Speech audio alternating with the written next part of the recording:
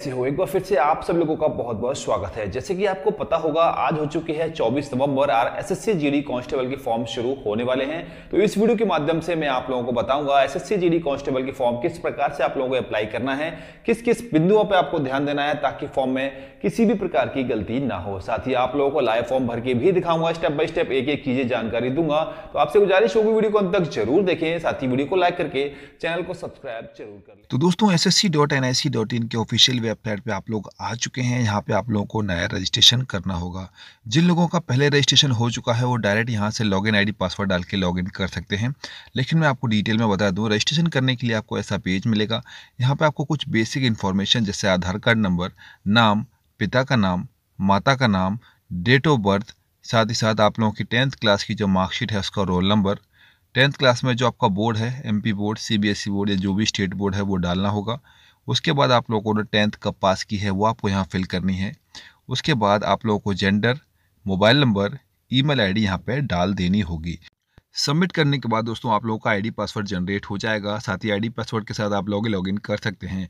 Login करने के लिए पहली बार आप लोगों को एक नया पासवर्ड बनाने के लिए बोला जाएगा, जो कि आप सुविधा के हिसाब से बना लीजिएगा। जैसे ही दोस्तों आप लोग लॉगिन पे क्लिक करेंगे, कुछ ऐसा इंटरफेस आपके सामने खुल के आएगा। यहाँ पे आपको दोबारा से आपकी जो बेसिक इन्फॉर्मेशन जो आपने अभी रजिस्ट्रेशन में भरी थी, वो चेक करने को मिलेगी। इन इन्फॉर्मेशन को अच्छे से चेक करके आप लोग नेक्स्ट पे क्लिक कर दीजिएगा। नेक्स्ट पर जैसे ही आप लोग क्लिक करेंगे, जो सेकंड पेज होगा, जहाँ पे आपको एड्रेस आप लोग की जो कैटेगरी है, वो सब फिल करने को आएगा, वो यहाँ पे आप लोग भर लीजिएगा। कैटेगरी भरने के बाद नेशनलिटी उसके बाद आप लोगों को कोई भी एक पहचान चिन्ह यहाँ पर डालना होगा। जैसे आप लगे कहीं पे तिल हो, कहीं पे चोट का निशान हो, आप लोग फिल कर दीजिए। उसके बाद यहाँ पे नीचे ऑप्शन आता है विकलांग वाला। विकलांग वाला जो है, उन लोग टिक लगाइए, जो लोग नहीं है, उसको छोड़ दीजिए। उसके बाद फोर्टीन को छोड़ के फिफ्टीन नंबर पॉइंट पर जैसे आप आएँगे, वहाँ पर आपको अपना परमानेंट एड्रेस फिल करना होगा। परमानेंट एड्रेस और प्रेजेंट एड्रेस दो एड्रेस होते हैं दोस्तों, जिनके सेम हैं, वो दोनों ही एड्रेस में आप लोग सेम कर दीजिए। जिनके अलग अलग हैं, वो ध्यान रखें, वो यहाँ पर दोनों एड्रेस आप लोग भरना, जहाँ पे आप परमानेंट एड्रेस आपके गाँव का है तो वो फिल कीजिए और टेम्परेरी यानी कि प्रेजेंट एड्रेस जो आप लोगों के शहर का या फिर आप कहीं पढ़ रहे हो, वहाँ का है तो आप लोग वहाँ पर इसको फिल कीजिए। चाहे तो आप लोग दोनों में परमानेंट एड्रेस भी डाल सकते हैं, उससे कोई इशू नहीं आएगा। यहाँ पे दोस्तों आप लोग पिन कोड डालने के बाद यहाँ पे 60 नंबर में यस पे टिक लगा दीजिए, अगर आपका सेम एड्रेस है। अगर सेम नहीं है तो नो पे टिक लगा सकते हैं। उसके बाद दोस्तों, जैसे ही आप लोग सेव करेंगे, आपकी डिटेल्स कुछ इस प्रकार से सेव हो जाएँगी, जहाँ पे आप लोगों को दिख रहा होगा additional and contact details save successfully फिर आपको आई एग्री पे क्लिक करना होगा और यहाँ पे फाइनल सबमिट करना होगा। फाइनल सबमिट करते समय आपके मोबाइल और मेल दोनों पे ही ओटीपी प्राप्त होंगे तो आप लोग उसमें से ओटीपी को देख के यहाँ पे फिल कर दीजिएगा। दोनों में से कोई भी एक ओटीपी आप लोग को यहाँ पर डालना है, दोनों ओ कंपलसरी नहीं है। उसके बाद कैप्चा कोड फिल करके आप लोग इसको सबमिट करेंगे।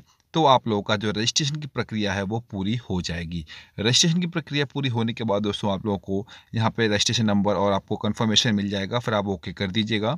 ओके करने के बाद आपको दोबारा से लॉगिन करना होगा। जो आपका आईडी पासवर्ड है, आपको दोबारा से उसको फिल करके लॉगिन करना होगा। तो दोस्तों लॉगिन होने के बाद आप लोग को यहाँ पर पहले नंबर पे ही दिख रहा होगा constable GD in central armed police force CAPF यानी कि एसएससी जीडी का जो नोटिफिकेशन है, वो सबसे पहले नंबर पर मिलेगा। यहाँ पे आपको डेट भी दिख रही होगी, चौबीस नवंबर से शुरू हो रहे हैं इकतीस दिसंबर तक चलेंगे। तो यहाँ पर अप्लाई नाव पर आप लोग क्लिक कर दीजिए। अप्लाई पर क्लिक करने के बाद आप लोगों के पास जो इंटरफेस होगा फॉर्म अप्लाई करने का, वो ओपन हो जाएगा। यहाँ पे दोस्त, तीन चीज़ें विशेष ध्यान रखिएगा कि फॉर्म अप्लाई करते समय सारी की सारी इन्फॉर्मेशन आप लोग चेक कर लें, क्योंकि एस एसएससी में एक बार सबमिट करने के बाद आपको संशोधन का समय नहीं दिया जाता। उसके बाद दोस्तों यहाँ पे आप लोग देख पा रहे होंगे पंद्रह नंबर पर एज रिलैक्सेशन जिन लोगों को रिलैक्सेशन मिलता है S C S T O B C का, वो यहाँ पे ले सकते हैं। जिनको नहीं मिलता, वो डायरेक्ट नो पे क्लिक कीजिए। एन सी सी वालों के लिए विशेष ध्यान रखना ए बी सी के सर्टिफिकेट वालों को यहाँ पे विशेष नंबर दिए जाएँगे। तो जो भी आपके पास सर्टिफिकेट हो, यहाँ पे आप लोग इसको टिक लगा दीजिए। उसके बाद आप लोग जो भी अपना मनपसंद सेंटर चाहें, वो यहाँ पे सिलेक्ट कर सकते हैं। जो भी आप लोग रीज़न लेंगे, वही रीज़न में आप लोगों को तीन सेंटर यहाँ पे देने होंगे। आप लोग ऐसा नहीं कर सकते कि अलग अलग रीज़न में सेंटर दे दें। उसके बाद आपको मीडियम देना होगा। जो भी आप लोगों का मीडियम है, Hindi medium English medium exam देना चाहते हो, वो सिलेक्ट कर लीजिए। फिर आप लोगों का जो भी गृह जिला है, यानी कि मूल निवासी आप लोगों का जो है, वो आपको सिलेक्ट यहाँ पर कर लेना होगा। जिला सेलेक्ट करने से पहले आप लोगों को राज्य सेलेक्ट करना है। राज्य सेलेक्ट करने के बाद आप लोगों को जिला सेलेक्ट करना है। जो भी आप लोग ज़िले से बिलोंग करते हैं डिस्ट्रिक्ट जो भी आप लोग का है, वो आपको भरना होगा। उसके बाद 21.1 नंबर वाले, और जो ऑप्शन है, वहाँ पे आप लोगों को बताना है कि आप लोग कहीं दूसरे राज्य से बिलोंग करके आए हो, या फिर नहीं तो आप लोग यहाँ पे येस या नो जो भी अपने हिसाब से कर सकते हैं। उसके बाद थोड़ा सा नीचे आइए, ये इंपॉर्टेंट बहुत बिंदु है दोस्तों, ये बहुत ही महत्वपूर्ण पार्ट है। यहाँ पर आप लोगों को प्रेफरेंस फिल करना है। प्रेफरेंस क्या भरना है, वो मैं आपको दिखा देता हूँ कि ए से लेके एच तक आप लोगों के पास B S F C I B S C R P F S S B I T B P A R और एस एस एफ़ की पोस्ट दे रखी हैं। अब आप लोगों को मैं बता दूँ कि इन सभी में कितनी कितनी वैकेंसी निकली है, जिसके हिसाब से आप लोग इसमें अप्लाई कर सकेंगे। तो दोस्तों, आप लोग देख पा रहे होंगे, यहाँ पे मैं आपको पोस्ट दिखा रहा हूँ, इन सभी पोस्टों में कितनी कौन सी कैटेगरी में पोस्ट निकली है, जिसके हिसाब से आप लोग अप्लाई कीजिए, जो कि विशेष और बहुत ही महत्वपूर्ण बिंदु है। जैसे ही आप लोग अपनी पोस्ट देख लेंगे, देखने के बाद आप लोगों को इनमें से जो ए बी सी डी जो कोड हैं, इनको आप लोगों को यहाँ पे फिल करना होगा। एक एक करके आप लोग यहाँ पे अपने कोड फिल कर लीजिए।